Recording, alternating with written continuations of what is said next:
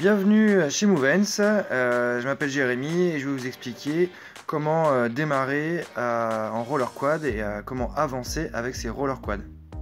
Alors chez Movens on a une technique spéciale pour apprendre à, patiner et arrêter de marcher en roller.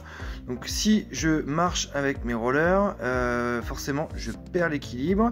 Si je ne lève pas mes pieds et je fais que les rouler, je n'arrive pas à avancer il faut obliger que je lève mes pieds, je fléchisse et que je mette mes pieds en canard pour pouvoir avancer en roller.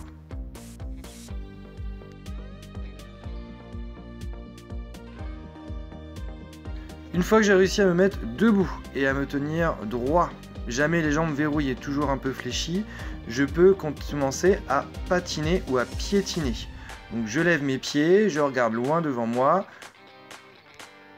je relève mes pieds, je lève mes pieds, je lève mes pieds, je roule. Pour me retourner en roulant, il faut que je sois engagé, je sois fléchi, ce qui demande beaucoup de technique et de pratique.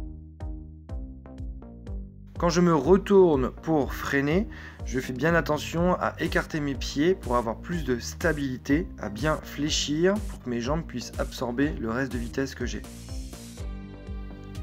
Merci d'avoir regardé cette vidéo, n'oubliez pas de vous abonner à notre chaîne, allez voir notre site internet movens.net et à très bientôt sur les rollers. Salut